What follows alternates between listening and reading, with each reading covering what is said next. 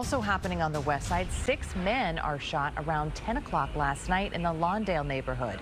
This happened on South Albany near Flournoy. Chicago police say the men were outside when someone shot at them from a distance.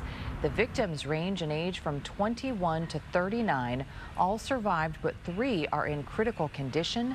No one's in custody.